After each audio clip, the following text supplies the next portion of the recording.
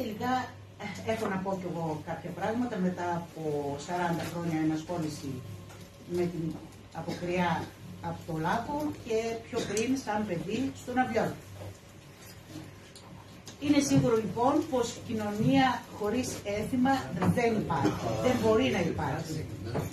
Χωρίς αυτά τα πανίσχυρα κοινά σημεία αναφοράς, αυτούς τους αόρατους δεσμούς ανάμεσα στα μέλη της, που ξεκινούν από το παρελθόν και παραδίδονται από γενιά σε γενιά.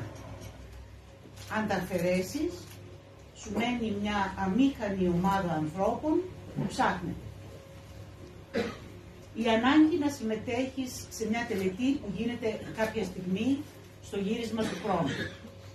Η στεναχώρια σου αν δεν μπορείς να κοινωνήσεις στην τελετή επειδή είσαι μακριά. Δεν μπορώ να σκεφτώ πιο αυθεντικά κριτήρια για το τι είναι έθιμο. Τα έθιμα όμως δεν είναι κοκαλωμένα σε μια εποχή και ούτε αποτελούν κλειστό κλαμπ. Προσωπικά με ενοχλεί αυτή η αντίληψη που συνήθως τα συνοδεύει, ότι δηλαδή είναι όλα ανάρχεια. Και ότι είναι αναλύοντα. Δεν θέλει, δεν θέλει.